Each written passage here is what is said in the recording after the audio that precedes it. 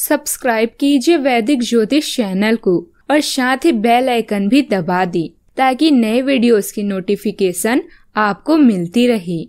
जय संतोषी माँ। दोस्तों, स्वागत है आपका वैदिक ज्योतिष में। जानते हैं आज क्या कहती है आपकी राशियाँ। कैसा रहेगा आपका दिन? शुरुआत करते हैं आज के सुविचार से।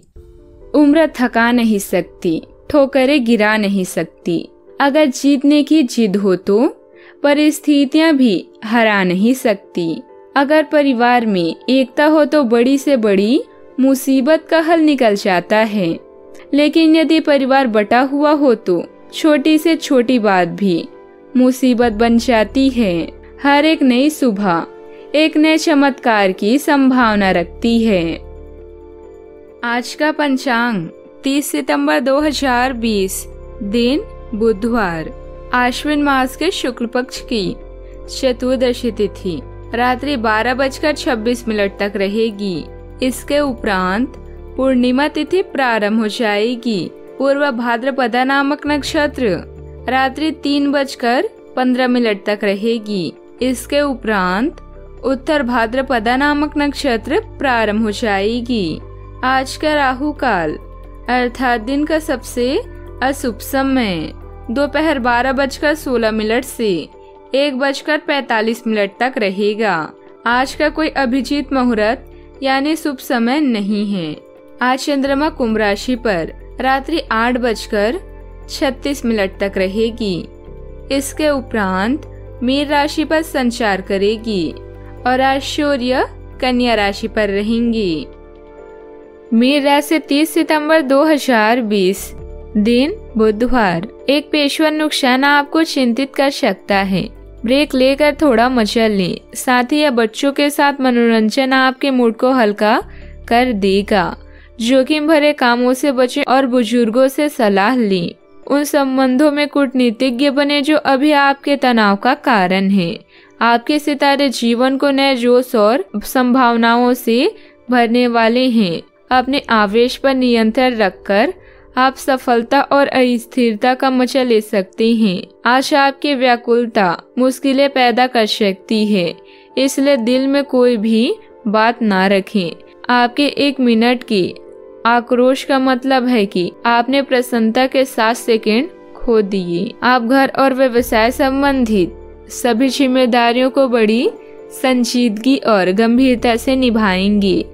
कोर्ट के संबंधित सरकारी मामलों में भी विषय मिलने की संभावना है। इसलिए पूरा ध्यान इन कामों में केंद्रित रखें।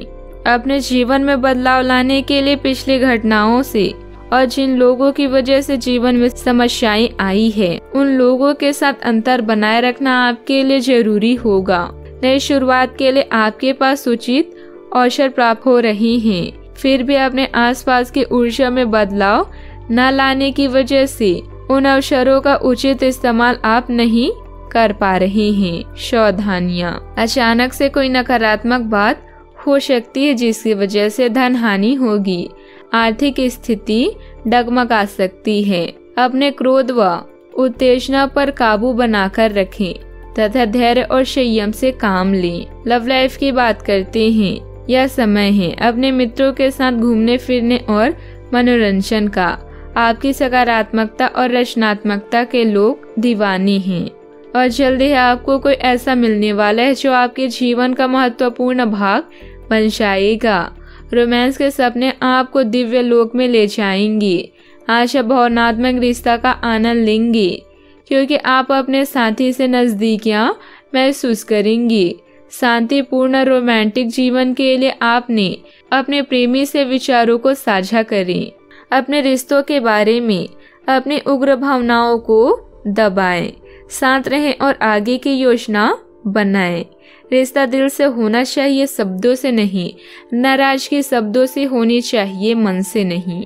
करियर की बात करते हैं। अपनी विफलता का सामना करना और सफलता के खेल का मज़ा लेना आपको अच्छे से आता है। आपके विचार और सपना आपके दिन को एक नई दिशा दे सकते हैं।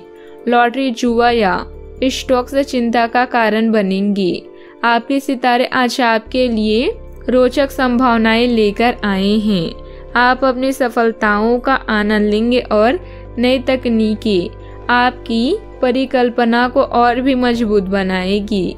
आज अतिरिक्त आय के भी मौके आपको मिल सकते हैं। सेहत की बात करते हैं। से दर्द से सावधान रहें, ज़्यादा तनाव, थकावट, बड़ी रुकावटें हो सकती है, इसीलिए आपको आराम के लिए योग और स्वास्थ्य संबंधित व्यायाम करने होंगे, क्योंकि इसी से आप शांत और हल्का महसूस करेंगे।